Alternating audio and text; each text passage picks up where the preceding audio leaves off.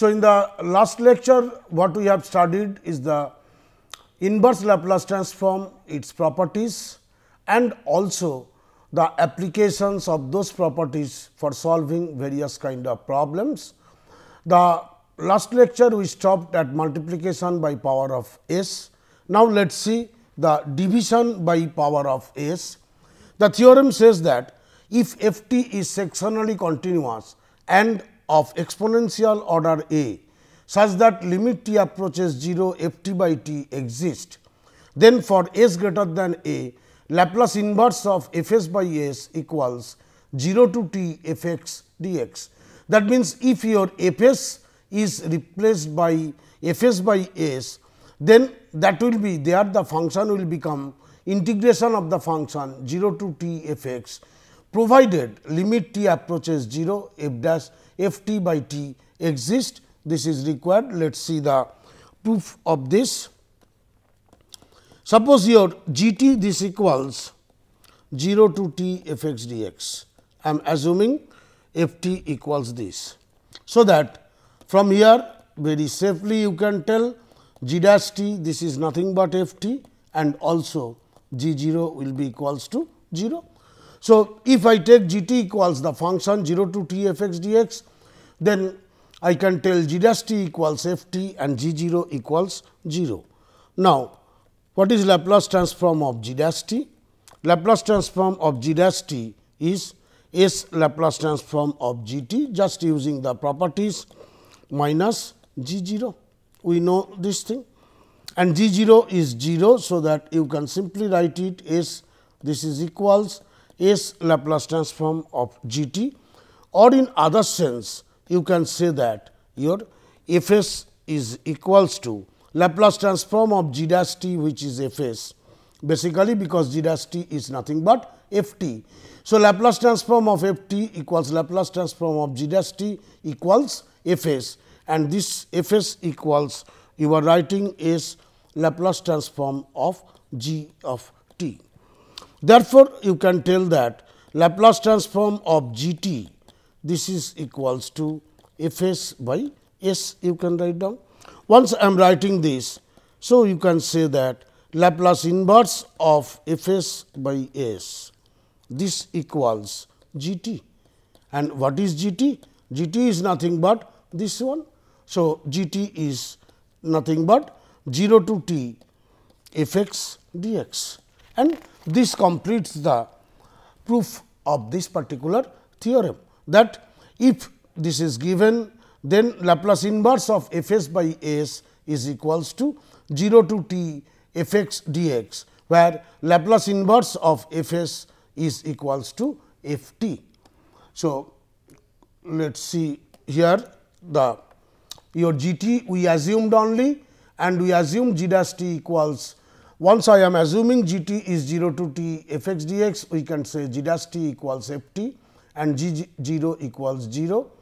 So, that Laplace transform of g dash t equals s into Laplace transform of g t. From here we are writing f s equals s into Laplace transform of g t and we are getting the required solution over here that is this one. Now, let us come to a very important property of Laplace transform this property belongs to various places. I will discuss it with respect to the Laplace transform and later whenever we are going for the other transforms. This property we call it as the convolution property. Suppose f t and g t be two functions of class A. Please remember class A means they are piecewise continuous and they are of exponential order A. So, if I have two functions f t and g t like this, then the convolution of two functions f t and g t denoted by f star g, please note this one. This we read as f convolution g, although we have given the notation as star, f star g or f convolution g, which is denoted by f star g equals 0 to t f x into g of t minus x d x. So, therefore, if I have two functions f t and g t, they are of class A means their Laplace transform exist. We are from there we are specifying this. then the convolution of these two functions f and g denoted by f star g this is equals to 0 to t f x into g of t minus x dx.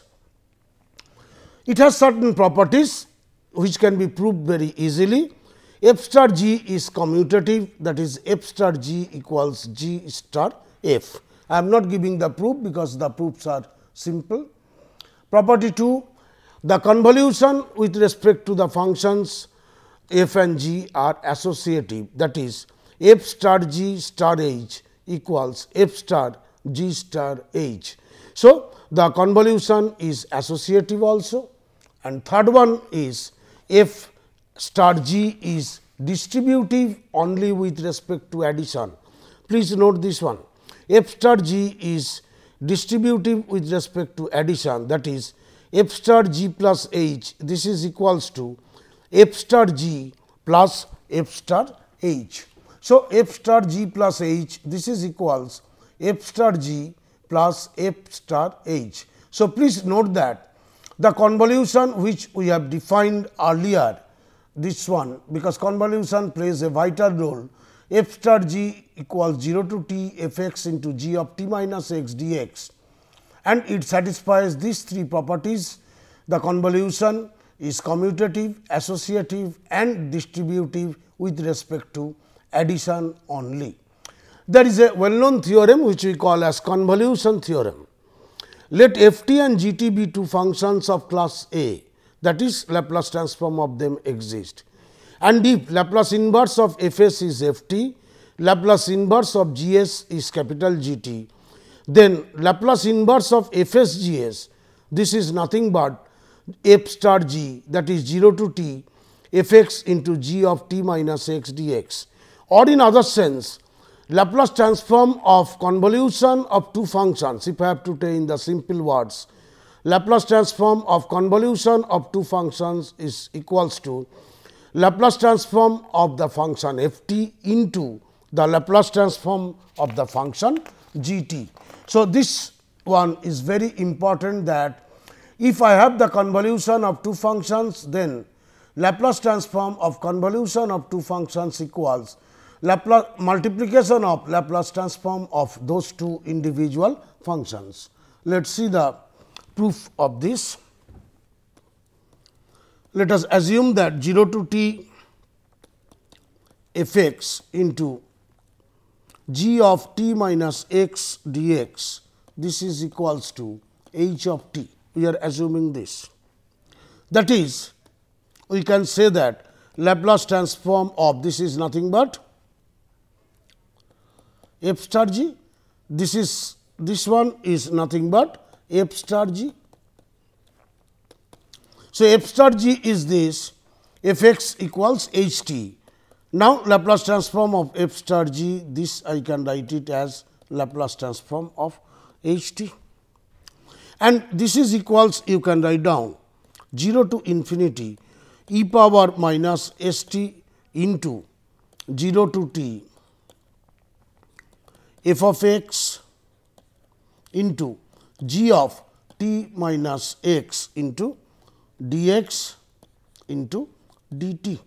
So, basically I have to find out the evaluate this particular integral 0 to infinity e power minus s t into 0 to t f of x this is actually x f of x into g of t minus x dx into dt.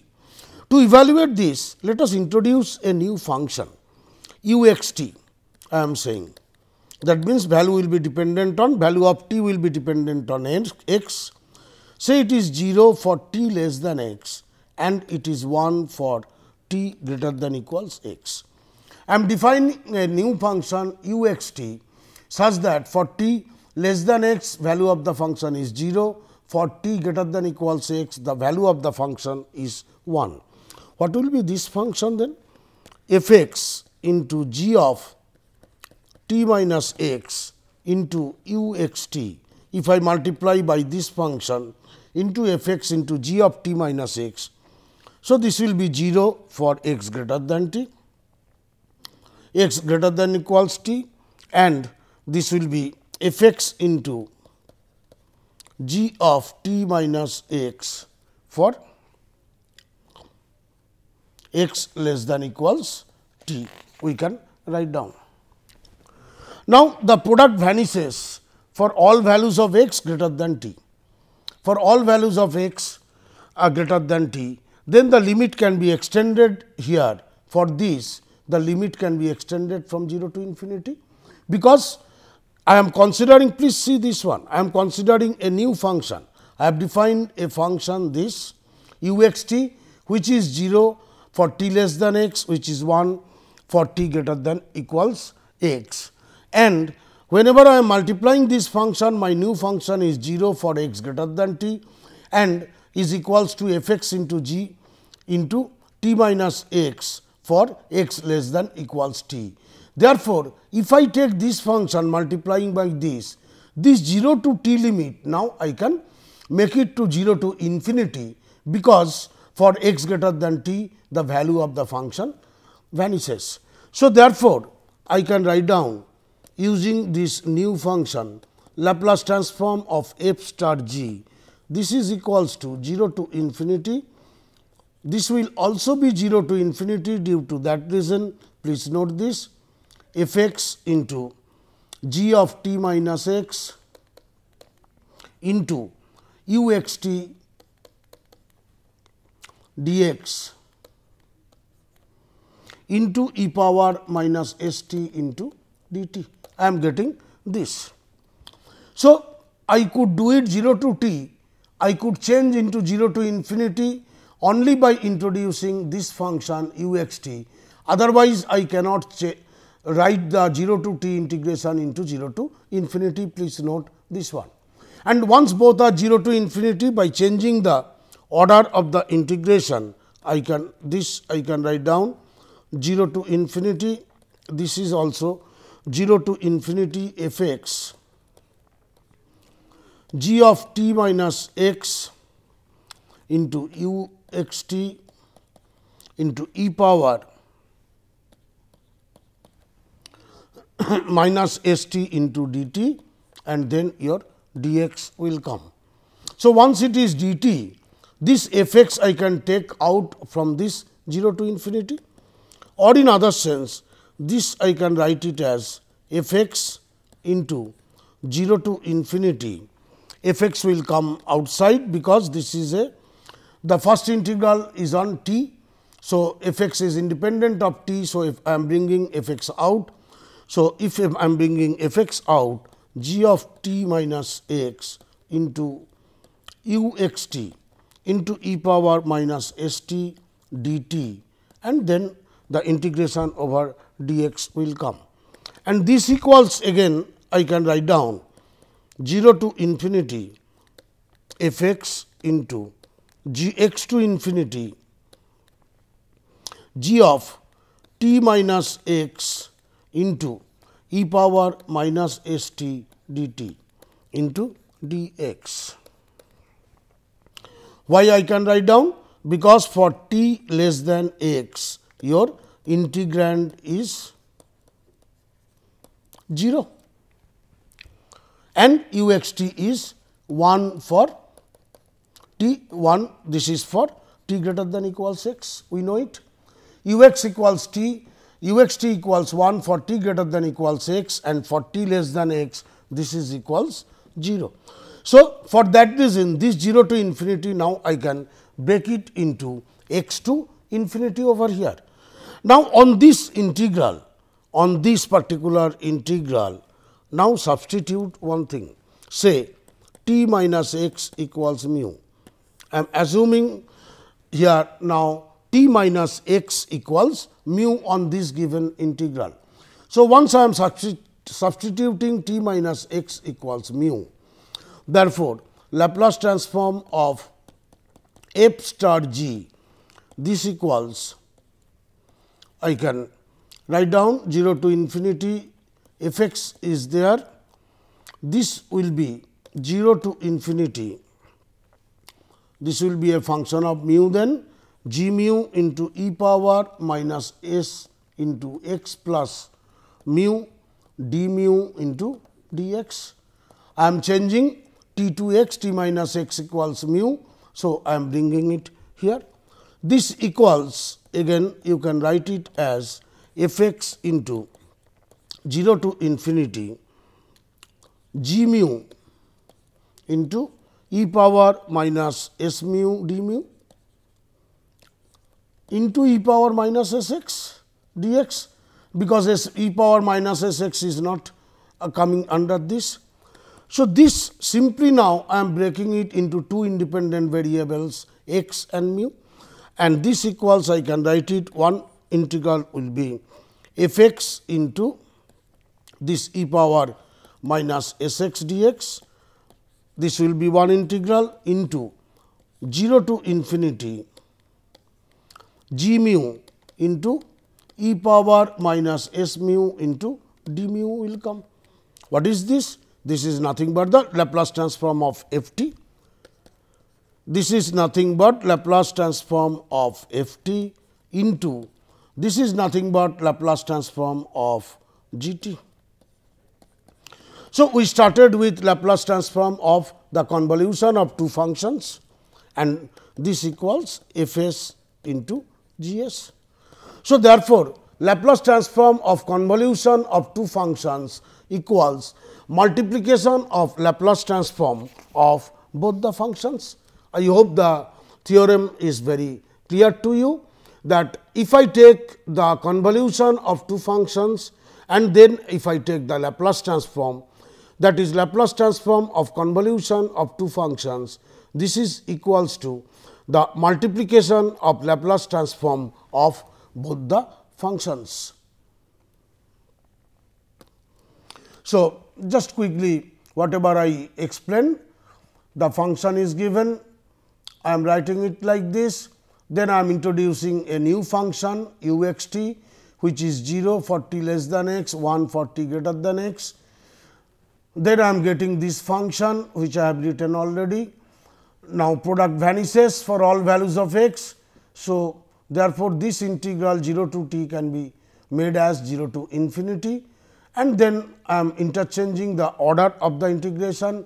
Once I am interchanging the order of the integration, then I am getting 0 to infinity f x into this, uh, because I know for t less than x the integrand is this 0 to infinity I am making it into x to infinity the reason is for t less than x integrand is 0 and u x t is 1.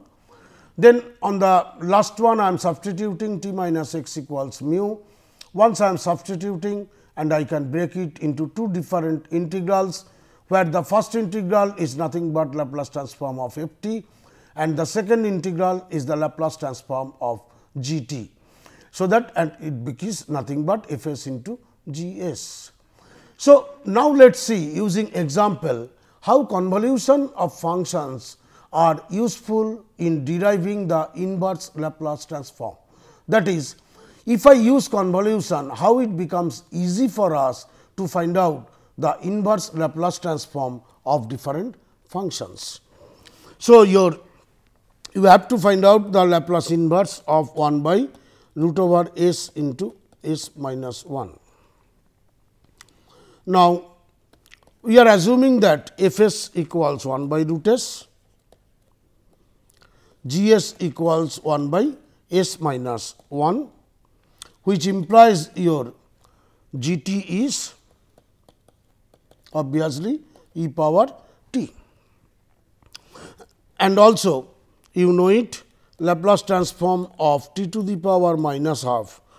This is equals to gamma half by root s and this is nothing but then root pi by root s. So, therefore, from here f t also you know it what is f t that you can find out from here t to the power minus half into root pi will come or in other sense you can tell that Laplace transform of 1 by root pi t this is equals 1 by root s. From here you can tell. So, that Laplace inverse of 1 by root s. This is equals your 1 by root pi t and which is nothing but f t. So, once you have the identified here f s, you have identified G s. From G s directly I am finding out G t like this and from this one I am identifying the root pi by s. So, that f t also I am identifying as 1 by root pi t. So, now f t is known to me, g t is known to me. So, by convolution theorem what you know? Laplace inverse of f s into g s, this is equals 0 to t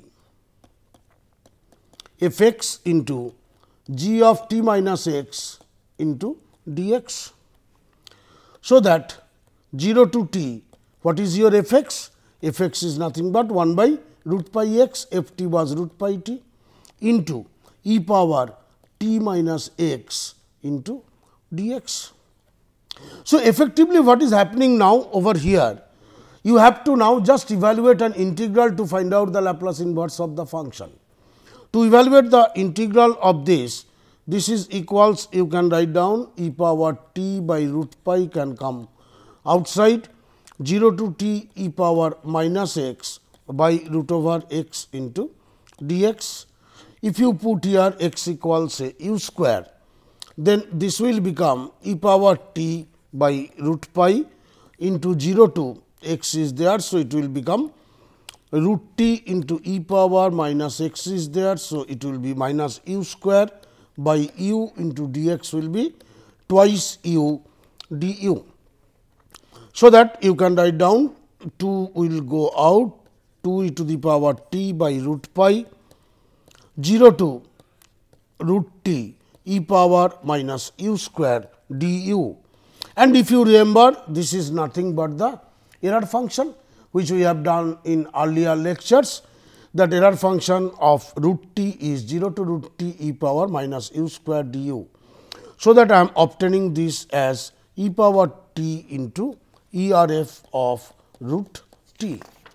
So, the Laplace inverse of f s into G s is coming as e power t into E r f of root t. If you see this one, your original function was Laplace inverse of 1 by root s into s minus 1. You assumed f s as first one, 1 by root s, g s as 1 by s minus 1. From here, you first obtain g t, then using this process, you are obtaining what is the value of f t. Once I obtain, once I obtain the f t and g t, then by convolution theorem, I can write down Laplace inverse of f s g s is 0 to t f x into g t of minus s. Now, substitute the value of f t and g t here and evaluate the integral by following this method and ultimately you will obtain the result as e power t into error function of root t. Now, let us see the next example that is Laplace inverse of 1 by 1 plus root s. For this case what happens? Your problem is Laplace inverse of 1 by 1 plus root s. Obviously, this denominator you cannot handle. So, I have to multiply both side by 1 minus root over 1 minus s the normal algebraic operation. So, if I multiply by this 1 minus root over 1 minus s then it will become 1 minus 1 minus s. So, that it becomes Laplace inverse of sorry root over 1 this will be root over 1 plus s. So, this is equals to root over Laplace inverse of root over 1 plus s minus 1 by s. So, I can write it as Laplace inverse of root over 1 plus s by s 1 minus Laplace inverse of 1 by s. I can write down. And this equals I can simply write down it as Laplace inverse of 1 plus s by s into root over 1 plus s minus this value is equals to 1.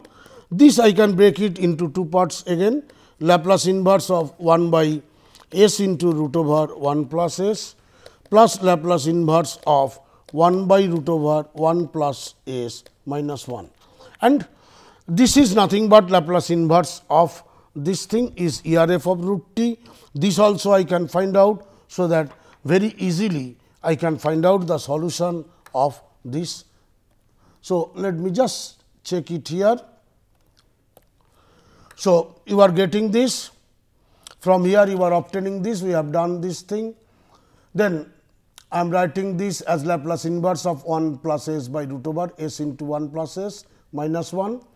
This I am breaking it into Laplace inverse form and from here this first function is 1 by s into root over 1 plus s is nothing but error function. This e power this root over 1 plus s I am writing using property e power minus t into Laplace inverse of 1 by root s and this you can write down the second term e power minus t into 1 by root pi t minus 1 and ultimately I am obtaining the result as this one.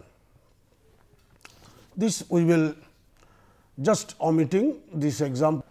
Uh, apply convolution theorem to find the value of this thing. Since we are doing the convolution, so it will be easy for us to do it.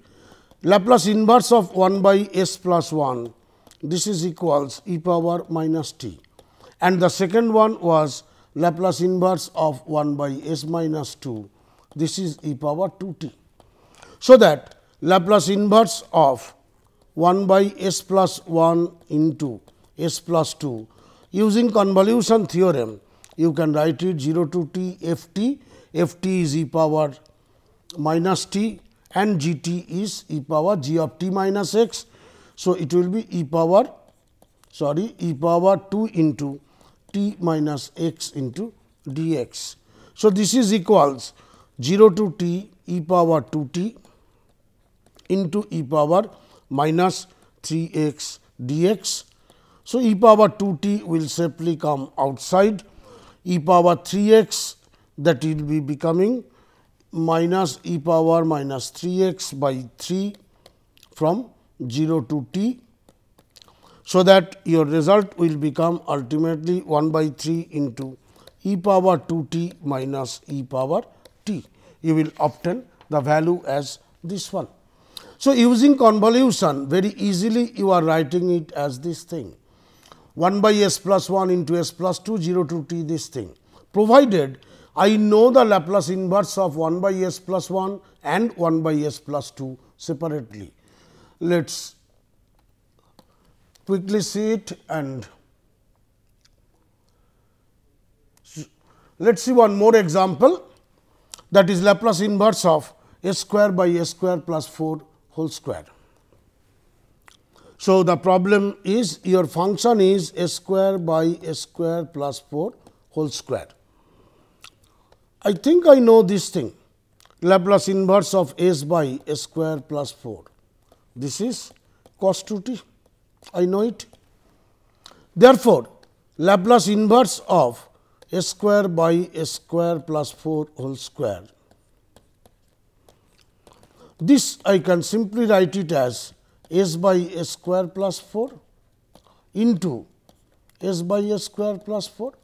So, this is Laplace inverse of f s into g s and using the convolution theorem this is f t that is cos of 2 x into g of t minus x means cos of 2 into t minus x into d x.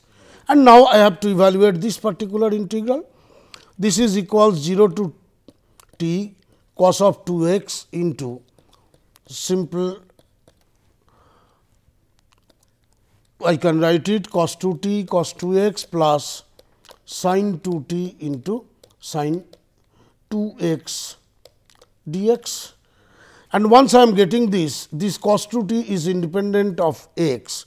So, that in the next line I can write it this is equals to cos 2 t into 0 to t cos square 2 x dx plus sin 2 t into 0 to t cos 2 x into sin 2 x dx.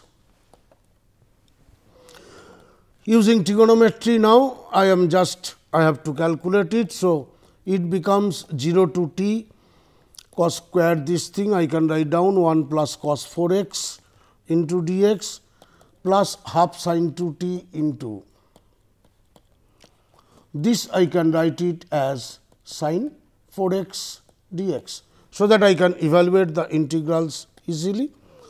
This will be equals to cos 2 t by 2 will come here and I am directly writing this t plus sin 4 t by 4 plus sin 2 t by 2 and the value of this integral will be 1 minus cos 4 t by 4. So, once I am getting this if you try to if you wish you can break it into some simpler form also. So, like this way whenever I have the product of two Laplace transforms that is f 1 s into f 2 s always I can use the convolution theorem to find out that in uh, to form an integral of the form 0 to t f x into g of t minus x dx and I simply evaluate that integral to obtain the Laplace inverse of some product of some functions. Thank you.